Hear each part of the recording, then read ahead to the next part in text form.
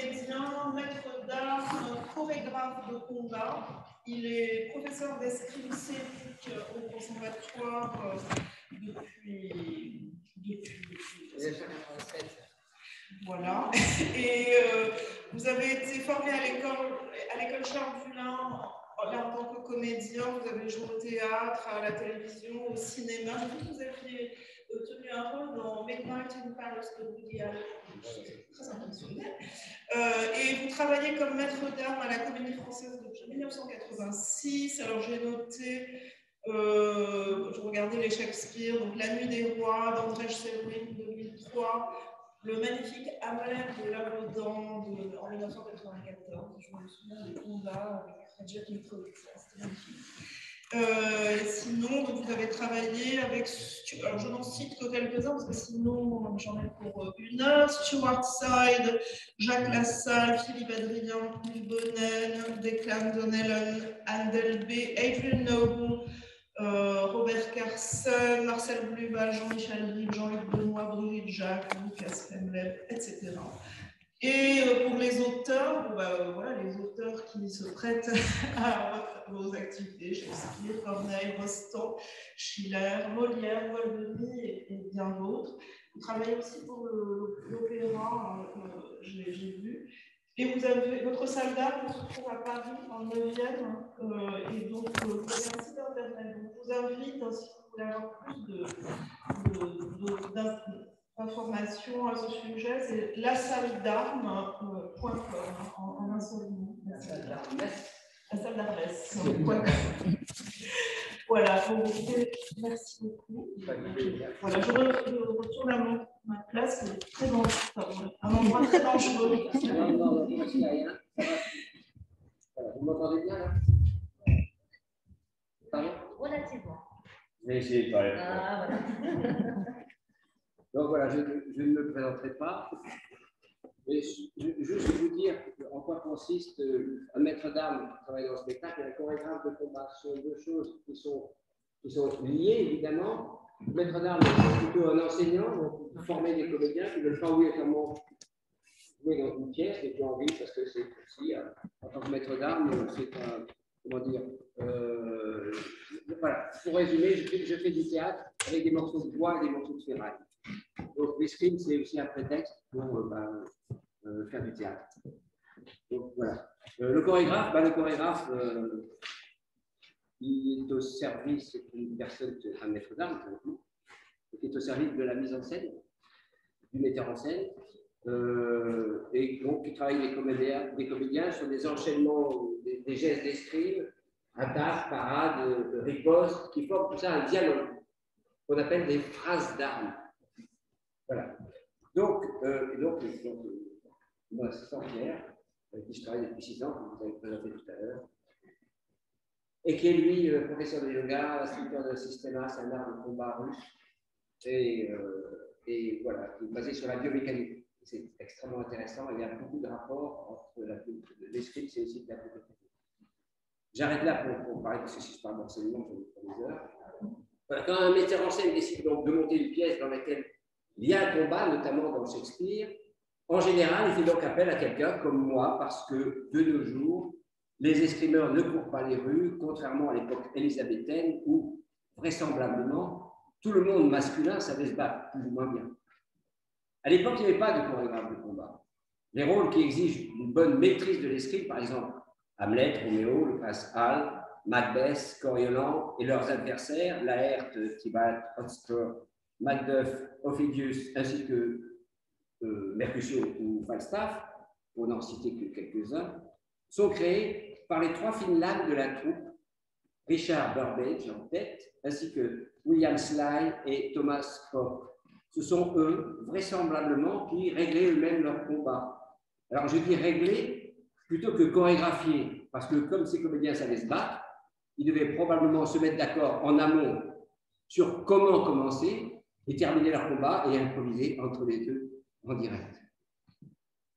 Dans le texte, on a très très peu d'indications sur le déroulement des combats, à l'exception de Roméo et Juliette et de Hamlet. J'en parlerai. Tout ce qu'on trouve en didascalie, c'est ils se battent. scène de guerre. En production, on doit donc se débrouiller avec ça. Alors, comment, comment, comment est-ce qu'ils se battent? Avec quelles armes? Pendant combien de temps? Avec quelle violence? Qui se bat honorablement? Qui se bat en employant des combats? Le vainqueur gagne-t-il le combat parce qu'il est plus habile techniquement, ou plus fort physiquement, ou plus déterminé? Toutes ces questions sont a priori laissées aux soins du metteur en scène.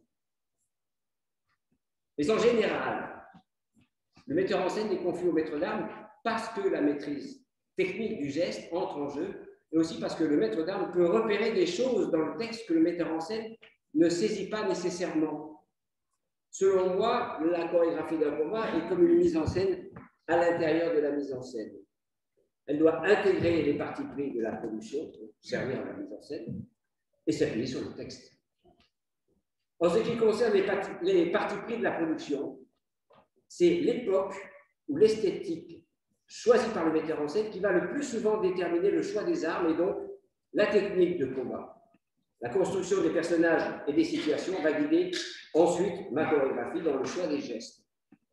Par exemple, j'ai récemment chorégraphié les, combats du roi Lear dans la mise en scène de Georges Lavaudan.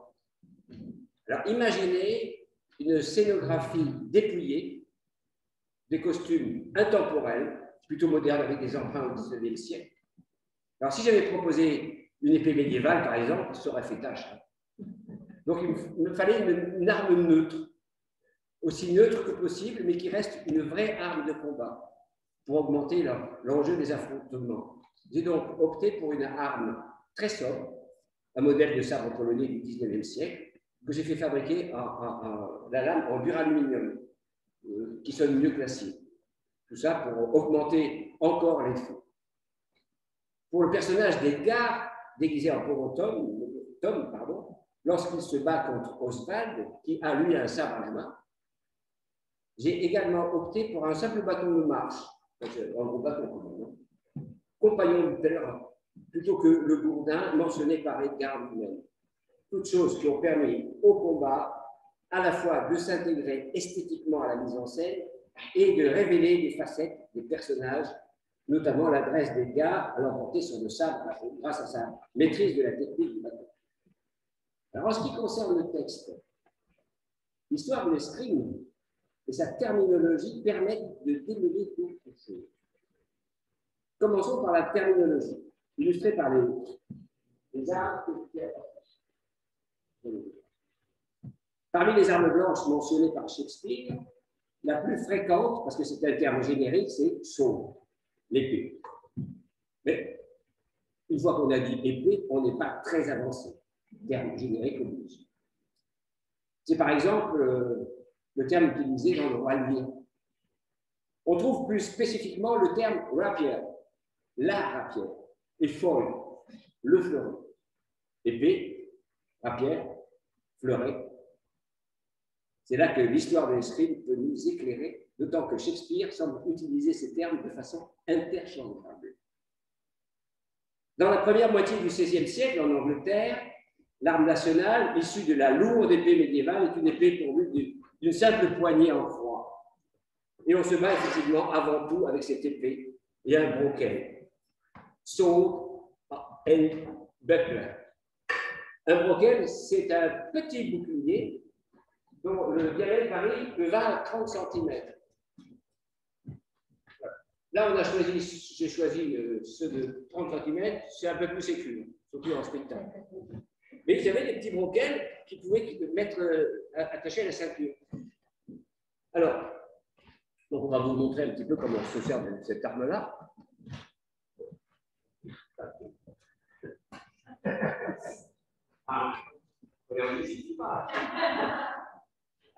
Donc, euh, n'ayez pas peur pour le bruit. Vous ne respirez bien parce qu'on vais. Voilà.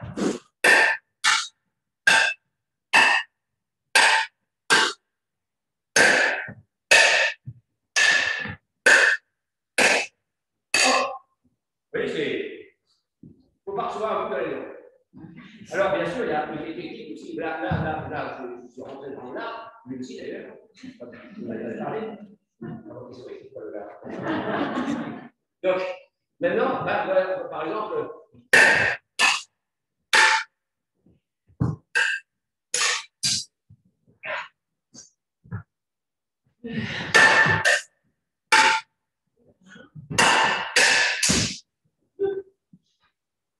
on va s'arrêter là. Vous voyez, c'est quand même assez primitif. Hein. Parce que, pourquoi j'ai ça Parce que si m'attaque, bah, c'est quand même mieux que la main et que les dents. Alors je pourrais évidemment, c'est pour ça qu'on va poser les, les Parce qu'on se battait aussi avec une main. Donc, les coups étaient tranchés. Voilà. Comment arrêter un coup comme ça Alors, en, spectacle, souvent, les gens sont là. Ah.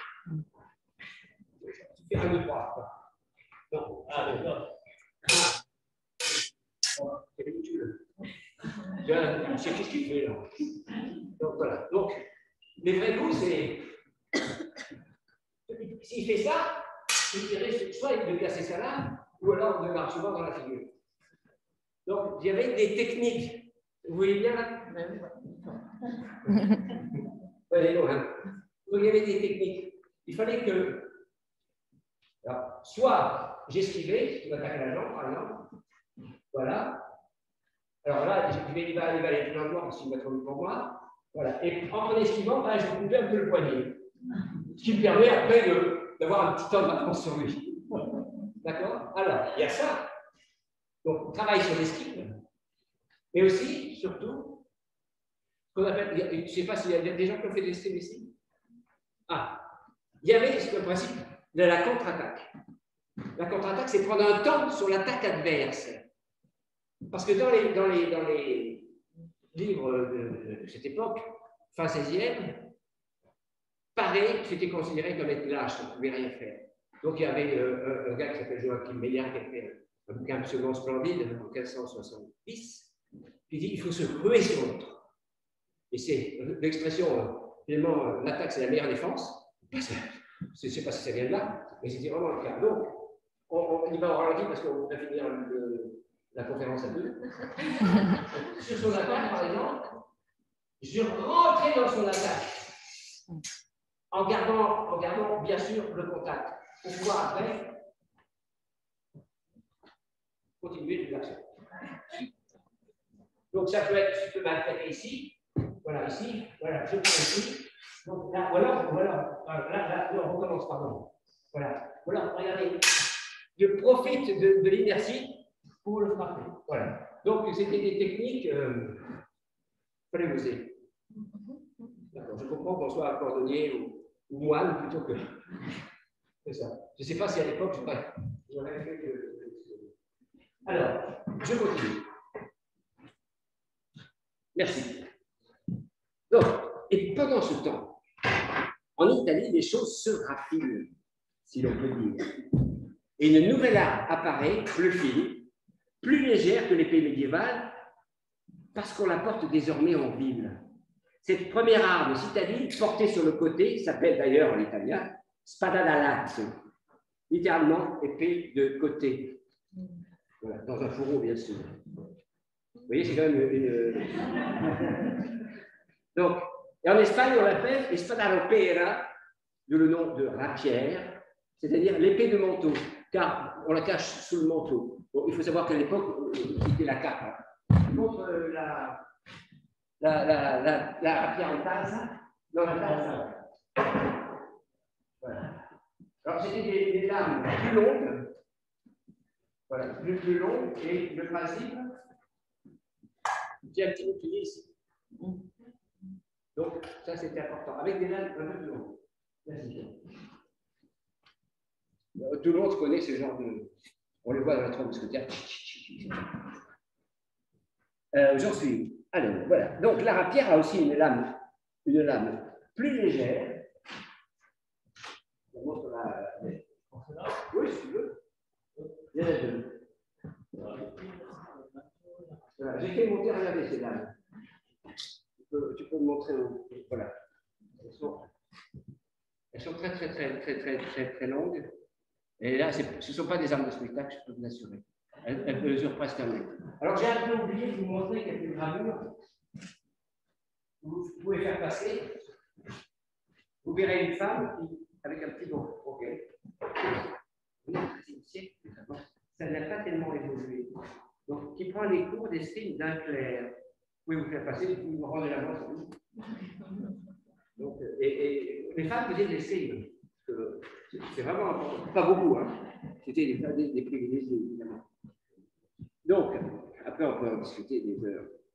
Donc, je disais que la rapière a une âme plus légère, mince, tranchante, mais surtout faite pour les stocks, la pointe. Les stocks qui auraient apparemment donné le terme tuck en anglais, utilisé pour désigner une arme de pointe. Arme de pointe, donc, la lame de la rapière est aussi par conséquent plus longue. Et c'est par ailleurs en Italie, davantage qu'en Espagne, que va se développer pleinement la technique de cette arme. Montaigne, Montaigne qui pratique l'escrime, va en Italie pour se former à cette arme nouvelle et constate que beaucoup de ses concitoyens font la même chose. Donc, on va vous montrer un petit peu les techniques de rapière. Ce ne sont pas des techniques théâtrales. Donc, on va prendre des poignards. Parce que ça rend, bien oui, rend, n'ayez pas peur, n'ayez pas peur. Ils êtes tous là. Non, non, non, non. Je, suis maladroit, mais, mais, mais pas je Quand je plante un cul, ce n'est pas la même chose. Donc, voilà. Ça, ben, ça remplace un peu le broquel. Hein, donc, on pouvait couper le lard, on couper le jambon, voilà. Alors, ça, c'est une main gauche. C'est une dame qui fait une main gauche. Hein, c'est son nom. Les trois quarts des gens, les neuf dixièmes des gens sont, sont, droitiers, donc euh, il a ça, dans, il la porte dans sa main. Alors, moi qui suis gaucher, quand je porte, euh, je ne sais pas comment le dire, voilà, là je me fais à droite pour vous, mais là j'aurais ça dans la main droite, ça s'appelle toujours une main gauche, avec comprendre. Donc, euh, action simple, beaucoup de pointes. Hein, alors, en spectacle, on fait du tic, tac, tac, tac, j'en parlerai. Donc, par exemple, voilà. voilà, je pars ici, et voilà. Là, voilà. Donc, on montre des choses très, très, très simples. Vient exactement où tu veux. Je prends ici, je reprends ici. Voilà. ici. C'est pour ça que c'est un peu tranchant. Un peu le jardin, oui. Bah oui, tout à fait. Ok, je t'attaque. Bon, voilà.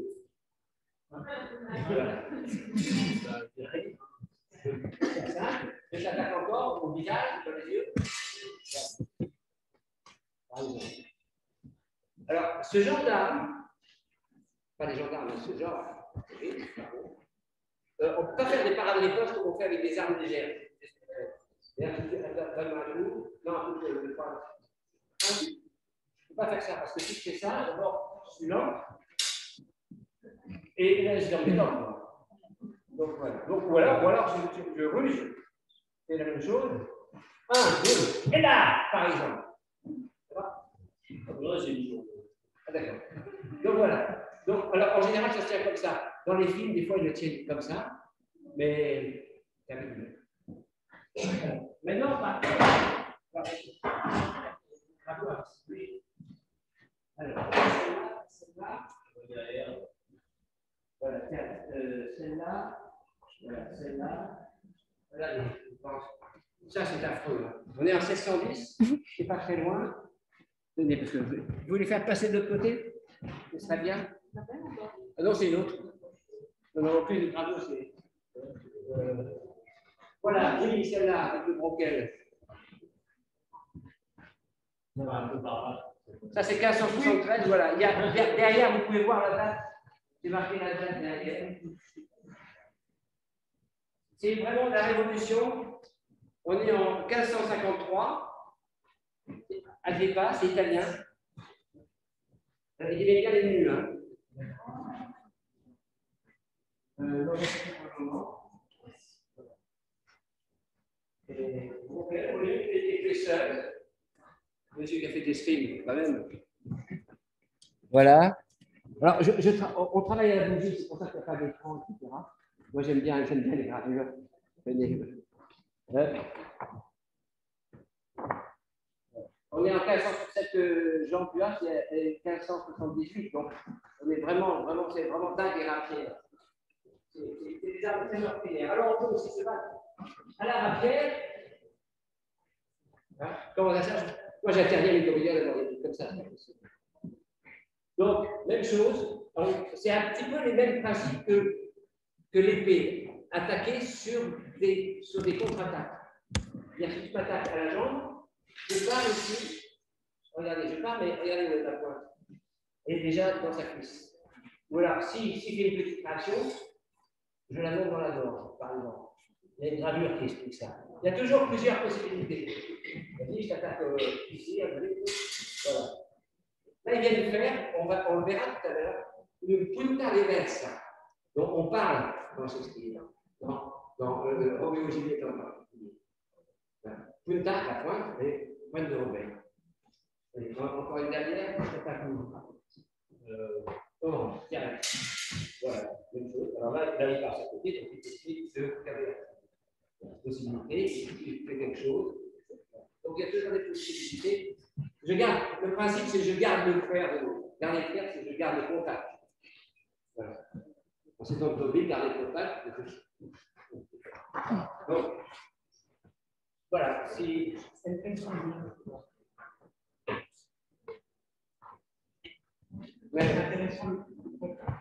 Oui, oui.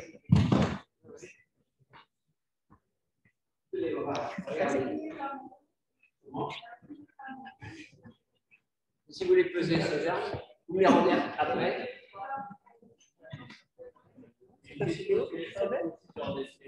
Euh, certaines, certaines, mais on peut essayer vous avez là. C'était peut-être du pas, par exemple, mais c'était assez rare. Ça va, c'est pas trop lourd. Si vous voulez regarder, voilà. S'il y a des jaloux, je me tiendrai disponible à la fin de la conférence pour, euh, pour les armes. D'accord. Merci Pierre. Donc je continue. Alors. Maintenant, passons au fleuret. Le mot lui-même fait son apparition dans un traité d'escrime en français en 1573. Où est-ce qu'il est, euh, madame, c'est vous qui montrez là, ici? Non, c'est pas ça. C'est ça, voilà. Monsieur Cassard, regardez, c'est un désarmement. Ils appellent cette arme, cette arme, ils appellent ça un fleuret. Eh oui. Donc, c'est un ouvrage d'Henri Saint-Didier qui s'appelle Traité contenant les secrets du premier livre sur l'épaisseur. Et on le retrouve quelques années plus tard aussi, ce mot de fleuret, dans les essais de Montaigne. Ça s'écrivait un peu différemment, fleurette, F-L-O-R-E-T. Cette arme est spécifiquement conçue pour l'entraînement. Elle est identique à la rapière, mais le fil de sa lame est émoussé et sa pointe repliée. Le fil, c'est le tranchant. Sa pointe repliée, d'où vraisemblablement son nom anglais, fall, qui viendrait du vieux français fouler, refouler au sens de retourner, replier. Ce n'est qu'à partir de la seconde moitié du XVIIe siècle que le fleuret devient une arme mouchetée. Mouchetée par du fil poissé ou par une boule d'étoupe ou par un petit bouton de cuir, parce qu'il correspond alors à la nouvelle épée à la mode, l'épée de cour. Donc, ça, merci. C'est un authentique faux. Non, non, mais c'est une réplique vraiment, vraiment très, très bien faite d'un fleuret du XVIIe siècle. La lame était un peu rigide. Et vous voyez, il y a une petite garde comme dans les rapières. Vous voyez la garde Et qui s'est simplifiée au XVIIIe siècle par une garde en 8. Avec, regardez, ça c'est une plastoc, hein, mais voilà, il y avait, c'était du cuir. Regardez la lame. c'est moucheté, hein. Le... Donc, le but, c'est de toucher, c'est pas de tuer. Dans l'entraînement, donc, pour travailler, mais quand on regarde, voilà, la gauche, voilà, par exemple, je, vais, vraiment aller sur des choses très, très, très fines. C'est vraiment important. Et ça, c'est un fleuret moderne que je vous montrerai tout à l'heure. Vous voyez l'évolution des fleurets, avec une poignée, ce qu'on appelle poignée crosse. Voilà, deux compétitions que vous pouvez voir actuellement. Pour la petite histoire, puisque quand même, je vous ai amené des, armes modernes, des armes olympiques. Il y a le sabre, qui est une arme d'entraînement pas les gros sabres de cavalerie, ce n'est pas une arme de guerre. Et je vais le faire passer, vous regarderez que le bout est retourné comme, comme exactement comme les fleurets de l'époque, sauf qu'avant c'était des grosses lames. Vous voyez? Donc voilà. Et puis l'épée moderne, voilà, qui, ressemble à l'épée euh, du 19e siècle, un petit peu aux épées du mousquetaire. Ça, c'est l'épée de compétition. Oui, c'est l'épée de compétition. Une, une arme d'entraînement, mais c'est comme ça. Des gardes comme ça ou des gardes comme, euh, comme les poignées crosses, comme, euh, comme celle-ci. Il tient comme un pistolet. Tout ça pour s'entraîner, le ferai à l'épée de cour. Voici une épée de cour. C'était bien pointu, on, pouvait tuer son homme sans problème avec ça. Hein. Il y a beaucoup, beaucoup, euh, la, toute l'aristocratie dans les années 13e siècle, pendant 50 ans, il y a je ne sais pas combien de milliers de jeunes gens qui sont morts. Donc voilà, ça c'est vraiment l'épée de cour et ça ressemble au fleuret.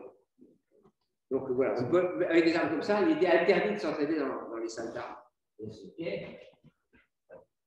Donc je continue. Alors, où s'en suis Voilà, donc le fleuret, tel qu'il existe à l'époque élisabéthaine, donc, est de courte durée, puisque dès la seconde moitié, donc les, grosses, les grosses lames, hein, donc, dès la seconde moitié du XVIIe siècle, sa lame devient flexible, comme je vous ai montré, comme on peut le voir avec les modèles fin XVIIe, XVIIIe, et euh, voilà, ou le fleuret moderne. C'est surtout la lame qui est importante, voilà. Euh, voilà, donc, le fleuret en anglais, le fleuret moderne, s'appelle toujours foil. Alors, cela ne signifie pas qu'il ne faut pas traduire foil par le mot fleuret dans le texte de Shakespeare, mais simplement qu'il ne faut pas se tromper d'armes si on veut monter une production en costume d'époque de façon rigoureuse. En ce qui concerne la traduction, utiliser l'expression d'armes mouchetées ou démouchetées ne respecte pas la vérité historique, même s'il est vrai que l'expression est sans doute plus parlante pour le public aujourd'hui. En même temps, Shakespeare, lui, ne se gêne pas de ce point de vue-là. Dans la plupart de ses pièces historiques, ou encore dans Titus Andronicus, les personnages se battent spécifiquement avec des rapières, qui n'existent évidemment pas du tout à l'époque où sont censés se passer ces drames. Mais il arrive aussi à Shakespeare de mentionner spécifiquement des armes hors d'usage à la fin du XVIe siècle, telles que le fauchon, falchion en anglais, une épée large, incurvée, proche du cimetière, pour évoquer un temps définitivement révolu, comme le fait lire au moment de mourir, par exemple. Pour résumer, pendant toute la Renaissance, on assiste à une véritable révolution de l'escrime qui va donner naissance à l'escrime moderne et qui démarre donc en Italie et en Espagne avant de se répondre dans, le reste de l'Europe. L'escrime, jusque-là militaire, devient également civil. Les armes changent, les techniques s'adaptent, les différentes écoles se développent, quatre principalement, italiennes, espagnoles, françaises, allemandes. Les traités d'escrime voient le jour, les salles d'armes s'ouvrent. En Angleterre, par exemple, Henri VIII doit d'ailleurs réglementer l'accès à la profession de maître d'armes en 1540. Et le combat en duel lui-même se transforme. Alors, à l'origine, le duel judiciaire, appelé aussi jugement de Dieu ou jugement par combat. Un combat singulier dont on considère le vainqueur comme bien fondé puisque désigné par Dieu. Et on, a, on, en a un parfait exemple dans Richard III entre Mowbray et Bolingbroke. Oui, Richard, Richard II, sorry. Merci, pardon. C'est ma langue qui a surpris. Et donc, on en a un parfait exemple dans Richard II entre Mowbray et Bolingbroke. En pratique, ce duel judiciaire tombe en désuétude au XVIe siècle, mais il est encore très vivant dans la conscience collective et les combats de certaines tragédies en témoignent, comme dans le dénouement de Macbeth ou du roi Lear. Au même moment, apparaît le duel d'honneur comme un dévoiement du duel judiciaire pour régler des conflits personnels, comme c'est le cas dans Roméo et Juliette, où le terme de duelliste apparaît pour la première fois dans la bouche de Mercutio lorsqu'il dresse le portrait menaçant de Tybalt un mot qu'il répète deux fois de suite, de façon péjorative d'ailleurs. C'est à peu près à la même époque, dans une comédie cette fois, Peine d'amour perdu, qu'on trouve la première mention du terme duello. Alors, en italien dans le texte, comme très souvent les termes décrits, On peut noter au passage que dans les comédies, le duel est souvent ridiculisé et même dénoncé comme une pratique futile, voire comme euh, l'exercice par excellence des lâches, comme dans La Nuit des Rois, par exemple. Pour revenir à, on va revenir à notre révolution d'escrime. On trouve dans la comédie de Henry Porter, The Two Angry Women of Abingdon, pardon pour publié en 1599, la réplique suivante. Le combat à l'épée et au bouclier commence à être hors d'usage. J'en suis fâché. Je ne verrai plus jamais le véritable courage. Si jamais le combat à la rapière et au poignard devient à la mode, alors l'homme fort, un vrai brave, se verra embroché comme un chat ou comme un simple lapin. Alors, entre parenthèses, hein, on peut rappeler que Henry Porter est lui-même mort d'un coup de rapière en duel contre un autre dramaturge. Pas Ben Johnson, hein, qui, lui, a tué l'acteur Gabriel Spencer. Non, qui, qui, lui-même avait tué quelqu'un d'autre. Non, non, non, pas Marlowe, qui a lui aussi été assassiné. autre temps, autre meurtre. Combat à l'épée et au bouclier d'un côté, donc, et combat à la rapière et au poignard de l'autre. On est au cœur de cette grande transformation de l'escrime qui se manifeste également dans l'œuvre de Shakespeare, ce qui signifie donc bien que tout le monde à l'époque est au fait de cette transformation et de ces enjeux. J'ai évoqué les traités d'escrime tout à l'heure. Ceux qui circulent en Angleterre à la fin du XVIe siècle sont rédigés par des maîtres italiens comme Di Grassi, dont l'ouvrage de 1570 est traduit en anglais en 1594. Ou encore Saviolo, maître d'armes du comte d'Essex, qui publie un ouvrage directement en anglais en 1595. En 1599, un gentilhomme anglais du nom de George Silver publie un traité pour se poser en champion des anciens maîtres nationaux et railler l'engouement populaire pour ces maîtres étrangers. Silver déplore par exemple que ces escrimeurs italiens nous apprennent l'offensive et non la défensive. Alors, entre parenthèses, en Angleterre, on appelle l'escrime la noble science de la défense. D'où le terme anglais de fencing, du vieux français défense. Je ferme la parenthèse et je reprends ma citation de Silver.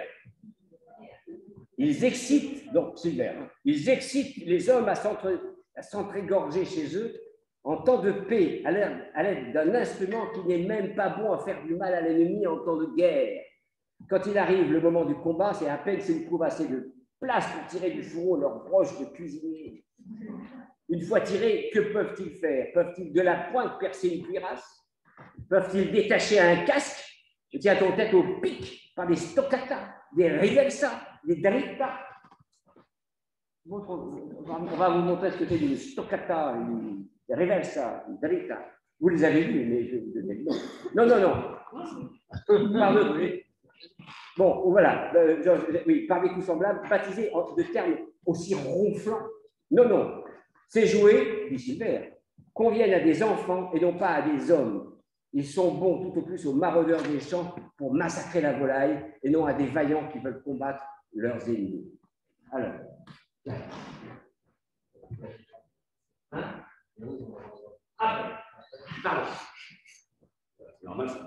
Après. Donc, c'est de la droite. Suis en droitier, hein. Ça, c'est une. Ça, punta reversa. Donc, c'est un, coup de revers, reversa, et punta la pointe. Et stoccata, alors, dans le stoccata, c'est très bien. Il parle de stoccata, il parle. Bon, il n'en parle pas, euh, Shakespeare, mais par exemple, la stoccata, c'est tout ce qui se passe en dessous de la, de la marne. Ça, c'est la marne. Et il y a un autre terme que, dont Shakespeare on n'en parle pas, mais comme ça vous le saurez. Imbrocata, c'est tout ce qui, qui arrive au-dessus d'un arbre. Voilà. Merci. Alors, ces critiques donc, de Silver sont d'autant plus véhémentes qu'il s'agit de s'opposer à la source la plus influente de tous les traités du XVIe siècle, et qui est l'ouvrage majeur de 1536, Opera Nova de Marozzo, donc, vous avez vu déjà ceux qui ont circulé avec les, petits broquels, ça c'est On est en 1536. Et, tiens, donne, voilà celle-là. Voilà, voilà. Le grand maître d'armes de Bologne.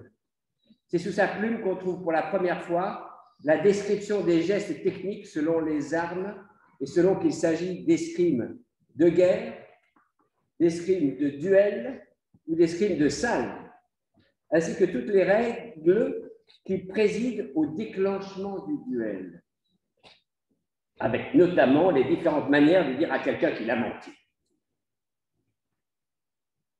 On peut se demander si cette progression verbale est destinée à freiner l'escalade ou bien à l'accélérer. À vous de juger.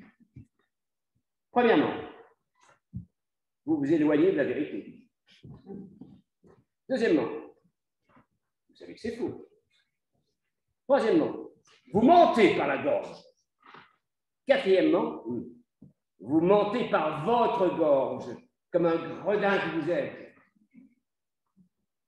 Des formules qu'on retrouve dans plusieurs pièces de Shakespeare, car à l'évidence, il connaît bien ces traités, y compris celui de Marlowe, dont il se moque aussi, notamment lorsqu'il fait de cet art de la querelle un art d'éviter le duel, comme dans la scène Comme il vous plaira, où le bouffon raconte une escalade verbale qui se termine par le fait de comparer la longueur des épées et de se séparer bon amour. Le bouffon précise d'ailleurs euh, Nous nous corrélons au pied de la lettre selon les règles du traité, de même qu'il y a des traités de bonne manière. Un autre détail de même ordre dans la nuit des rois, cette fois, c'est le conseil que donne Sir Toby à Sir Andrew pour montrer sa bravoure de blesser son adversaire en onze endroits. Ces onze cibles sont très clairement représentées dans l'ouvrage de Maroto par une illustration qu'on ne retrouve dans aucun autre ouvrage publié à l'époque. Hein.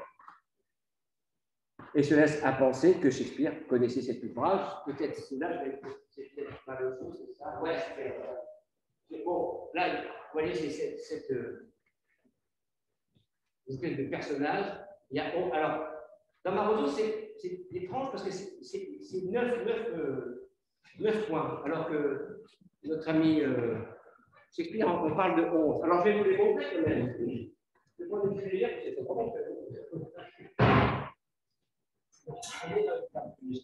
des armes de spectacle, ça se peut Donc, les 11 points, c'est très simple. Hein.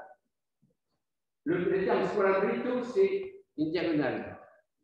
Donc, c'est Delito, scorambetto, reverso, scorambetto, delito, tondo, horizontal, reverso, tondo, qui fait 4. Vous voyez tous?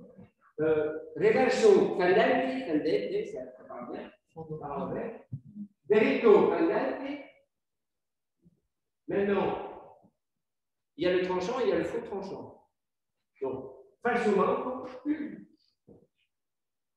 C'est quoi falso manco Le coup de Jarnac. Vous avez entendu parler du coup de Jarnac C'est un coup de falso manco et couper le Jarnac avec le faux tranchant. C'est très efficace. C'est la meilleure de l'année. Et puis, falso, falso manco et falso, falso dritto. Et puis, on revient là. Montante. C'est primitif mais efficace. On doit être à 10. Et puis, le, le dernier, toccata.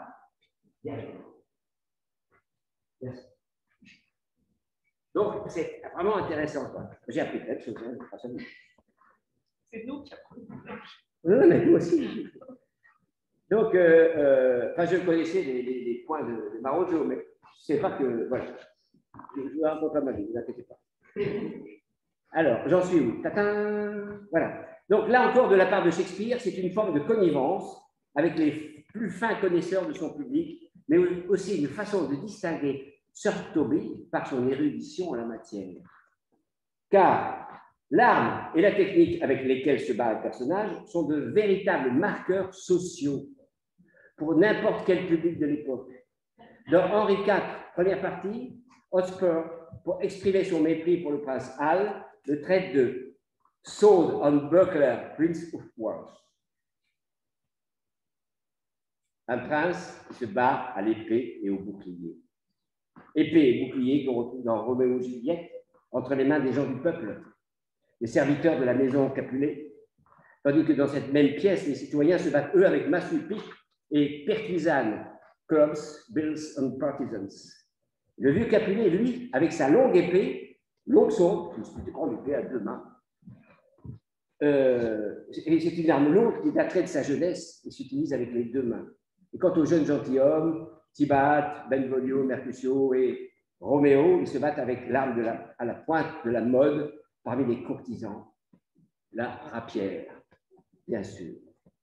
Cette répartition très précise est donc, bien une façon d'identifier les personnages par leurs armes, exactement comme le registre de la langue peut le faire. Et les détails techniques ont leur importance. Quand Mercutio avertit Benvolio de la virtuosité de dueliste de Tybalt, il cite l'immortel passado, le punto reverso et le aïe. Le aïe. Soit une estocade,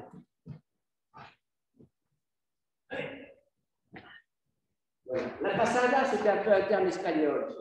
C'était une manière de. maintenant, euh, les escrivains modernes, comme ça, c'était une manière presque naturelle de marcher.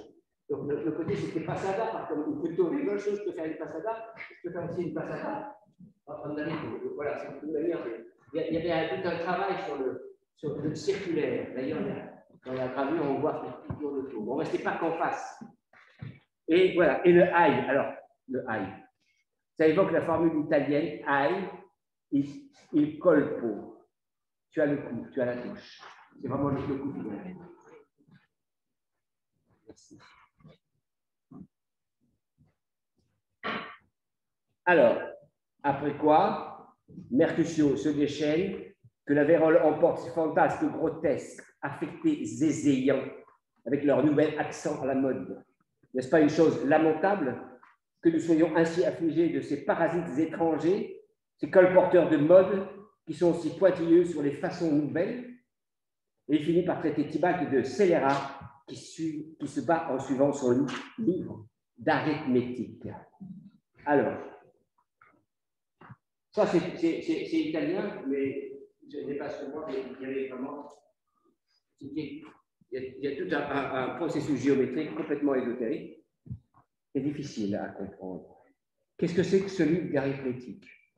Ce livre renvoie très certainement à l'école espagnole, qui est fondée sur des rapports géométriques extrêmement complexes, si complexes qu'ils en deviennent obscurs et qui sont d'ailleurs rarement repris par l'école italienne. On,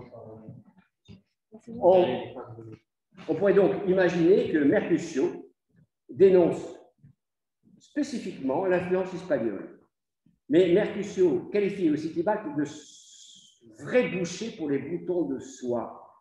Et ça, ça renvoie à une anecdote très populaire à l'époque au sujet du célèbre maître d'armes italien Rocco Bonetti, qui instruit la fine fleur de la société à des prix exorbitants, jusqu'à 50 fois supérieurs au tarif des maîtres d'armes anglais. Vous voyez le problème que ça peut causer On pourrait même imaginer que la rivalité entre les Montaigu, eh bien, on pourrait imaginer, hein, que la rivalité entre les Montaigu et les Capulet reflète la concurrence entre anciens, modernes et modernes, c'est-à-dire entre maîtres anglais et maîtres étrangers, principalement italiens, donc, même si le drame se déroule à Vérone. Mais on sait bien que Shakespeare use de la géographie exotique comme de l'histoire ancienne. Ces commentaires de Mercutio restent en tout cas comme autant de détails piquants à l'attention d'un public très averti. Alors, qui dit public très averti de tous ces signes qui traversent le texte, dit aussi nécessairement public à qui on ne la fait pas. Quand on passe à l'action, hein, les indications qu'on trouve dans Roméo et Juliette sur le maître de Mercutio par Tybalt, puis de Tybalt par Roméo, sont exceptionnelles dans la précision des gestes, car tout est raconté en détail par Benvolio, qui précise que les passes d'armes furent d'une extrême rapidité, Mercutio est en effet à peine égratigné par Tybalt, mais c'est une touche mortelle, car il s'agit précisément d'une technique de pointe, beaucoup moins spectaculaire que la technique de tranchant, mais bien plus dangereuse. J'ai besoin d'un Roméo, d'une Roméo. Volontaire, voilà.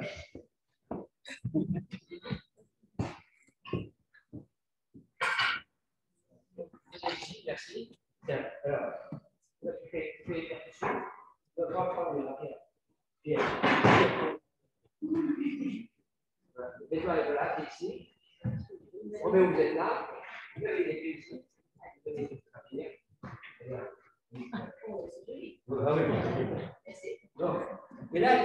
L'idée, c'est se battent.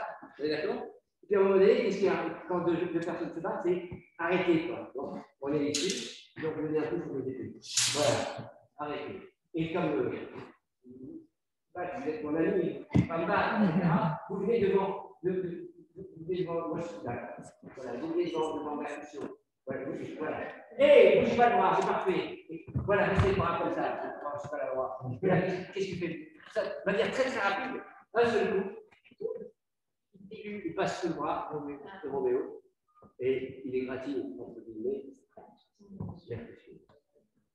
On a fait? Compris la sauce.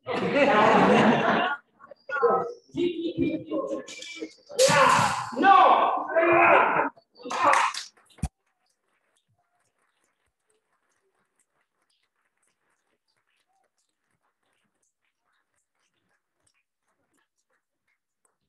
Donc, on continue. Cela donc nous laisse euh, supposer que les combats de l'époque devaient être très différents de ce que l'on pratique de nos jours sur scène, où l'on s'efforce d'agrandir le geste, de l'augmenter de pareil de riposte à l'attention d'un public aujourd'hui nourri au combat spectaculaire du cinéma. Là, on ne peut pas faire concurrence. Les acteurs de l'époque devaient en effet probablement se battre au plus près d'une technique de combat réelle qui visait avant tout l'efficacité. Ah, allô? Pardon. Au passage, on peut noter que Richard Burbage, principal escrimeur de la troupe, avait pour instructeur et pour beau-frère le fameux Rocco Bonetti, dont la salle d'armes était installée dans les locaux d'un théâtre désaffecté, récupéré de façon pas très loyale apparemment en 1596 par Burbage père, et Shakespeare pourrait fonder un premier théâtre avant la construction du globe quelques années plus tard. Donc, devant un public friand, tu montres la, la salle d'armes. C'est une salle d'armes 18e, et pour vous dire que les salles d'armes, je pense que c'est dans un, jeu de paume. Il y a beaucoup, beaucoup de d'armes dans le théâtre. Voilà. On est au 18e siècle, mais ça n'a pas beaucoup changé. Donc, je reviens à. Oui, donc pour fonder ce premier théâtre avant la construction du globe, quelques années plus tard, devant un public friand de spectacles violents, hein, la fosse aux ours était tout près du théâtre.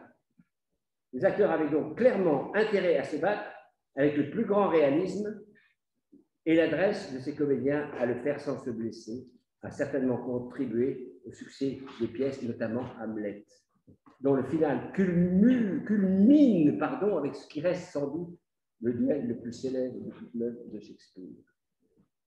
Ce duel c'est aussi le plus complexe, parce qu'il est en même temps, pour la cour, exhibition d'escrime. Pour Hamlet, rencontre sportive pour réparer les liens fraternels. Pour le roi, meurtre déguisé. Pour la duel d'honneur. Et à l'échelle de l'œuvre, duel judiciaire. Pour le public, il est évidemment tout cela à la fois, et surtout la perspective d'un combat virtuose entre l'AR, revenu de France et passé maître dans l'art et la pratique de l'escrime et surtout de la rapière, et Hamlet, qui dit ne pas avoir cessé de s'exercer et qui passe enfin à l'action. L'assaut. Oui, on va montrer ça aussi pour vous dire que, regardez comme ils s'entretuent les gens. Des jeunes hommes de 18 ans. Il y en a d'autres encore qui Ah ouais, c'est.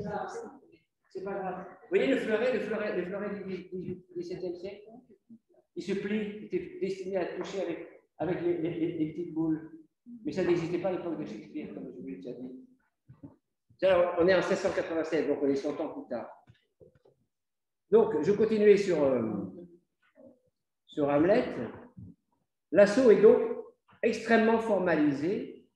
Et comme la pièce représentée plutôt par les acteurs engagés par Hamlet c'est du théâtre dans le théâtre, où l'on est censé se battre pour de faux. La didascalie de ce combat est d'ailleurs the play et non the fight. Le terme utilisé pour les armes est toujours foil. même si au moment du complot, à l'acte précédent, c'est une arme non émoussée que le, roi, prévoit pour la haie. A sword unbaited.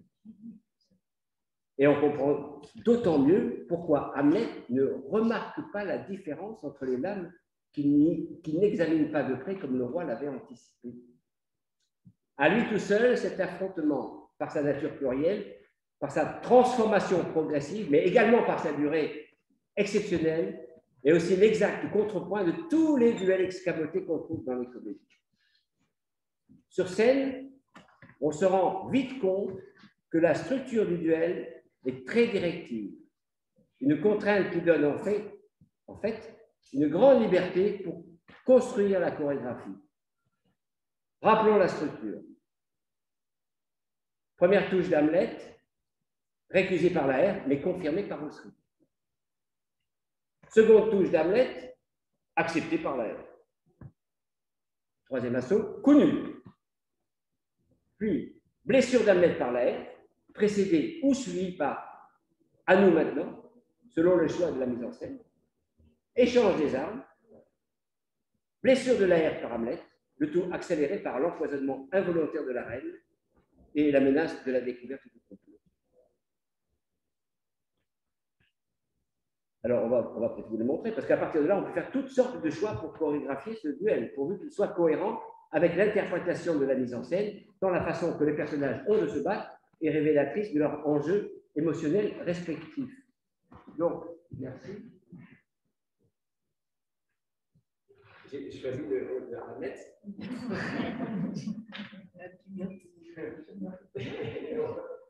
Pierre va faire la Donc, on travaille doucement, c'est histoire de, de, vous montrer un peu comment ça se passe. Donc, il y a une mise en garde, il y a, il y a déjà dès le départ une arme non émoussée que je ne peux pas voir et une arme.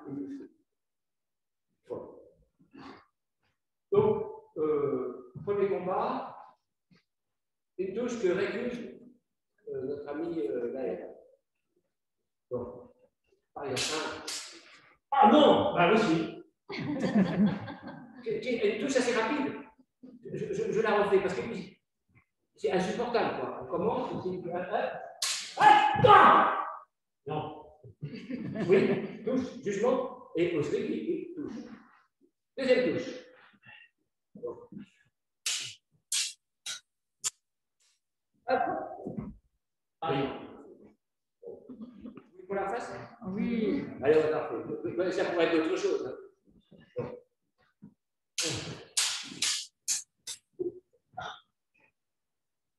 Oui, oui, touché. Donc, ensuite, ok, il s'est fait avoir.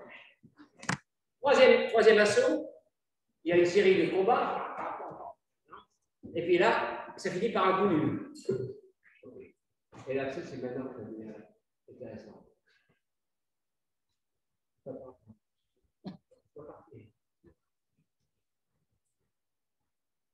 À vous maintenant. Là, qu'est-ce qui se passe Un, deux, trois, désarmement. On va ici, enlever. Je fais la même chose. D'accord Deuxième possibilité.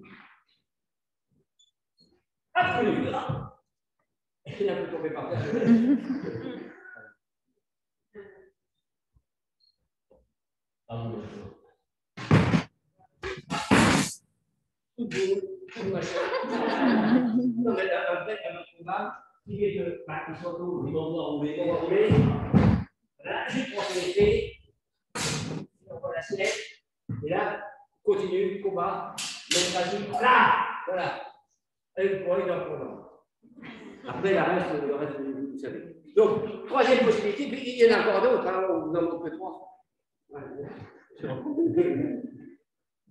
Donc, troisième possibilité. Ah Connu. Je vais reprendre ma place. À vous maintenant.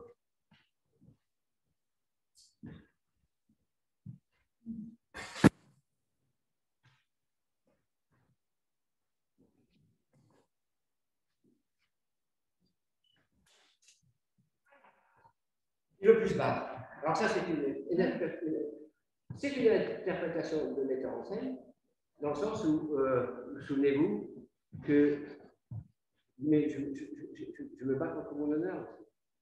Il est vraiment, c'est pas, c'est pas, il n'est pas monobloc, euh, C'est, moi, c'est une version qui m'intéresse bien. C'est ce que j'avais montré avec, monté avec euh, dans les papiers. Je peux toucher. Je ne peux plus faire. Je peux plus faire ça. Ok, j'ai fait. Donc, il accepte d'abord. Voilà, plusieurs, merci. Plusieurs interprétations mais il y en a encore plein d'autres. Hein. Un peu nul, c'est pas je comprends pas comment c'est nul. Alors, bonne question. Pourquoi c'est nul? Il faut savoir qu'à l'époque, avec le fleuret moderne, on peut se toucher. À l'époque, on ne se touchait pas. Pourquoi là, regardez, si, si, si son épée est en bas, il est là, là, c'est pas nous, c'est le point. Si les deux épées sont ici, c'est. Euh, c'est les deux. Donc, je n'ai pas touché ici. Il aurait pu faire ça. Alors, il y a des, positions où il fait juste ça, pardon, scratch. Pourquoi pas aussi Mais il faut que, ça reste visuel. Voilà. Donc, un petit coup comme ça, ça peut marcher peut-être au cinéma, mais au théâtre, c'est pas sûr. Donc, il y, a, il y, a, plein, plein de choses différentes. Et après, il y a la femme qui s'aperçoit. Alors, là, il n'y a pas eu, il y a eu un petit désarmement, mais euh, au XIXe siècle, les auteurs français, les d'art, etc., il y a eu des, pages de littérature sur la manière, comment amener des armes, l'air pour prendre des paix. Il y a même un auteur qui dit il y a un coup de tonnerre c'est vrai. Par contre, alors, les, désarmements, il y, a, il y, a, plein de possibilités de désarmement. Par exemple, je pars ici, regardez, voilà, il faut faire ça et qui part à attaquement là, voilà, ici, voilà, regardez. Donc, c'est-à-dire c'est des, des, principes de point de levier, attaquement la tête, voilà, ici, voilà. Ou des en même temps. Voilà, euh, voilà, attaque-moi ici, voilà, un, voilà, regardez. Donc, c'est vraiment un travail sur le, sur le levier. C'est. Donc, après, on peut faire des désarmements comme ça, très, très spectaculaires, qui sont des vrais, des vrais, désarmements. Pourquoi Je dirais que même si l'escrime n'a pas une place aussi importante dans, toutes les pièces de Shakespeare que dans Hamlet, elle est quand même toujours extrêmement significative parce qu'elle est un indice majeur de l'époque, de sa violence, de ses codes, de son actualité, de l'influence culturelle considérable de l'Italie mais aussi parce que l'escrime constitue comme un langage à l'intérieur du texte, texte par son lexique, principalement italien, par les métaphores qu'elles inspirent et par le pouvoir qu'elle a de propulser le drame et de révéler les personnages. Dans la pratique, on constate que l'escrime est comme le texte, éclairé par son histoire, soumise à des règles, mais toujours ouverte à l'interprétation et pour cela, exactement comme le texte, elle exige dans sa mise en scène le même soin, les mêmes recherches et les mêmes questions. Je vous remercie de votre attention.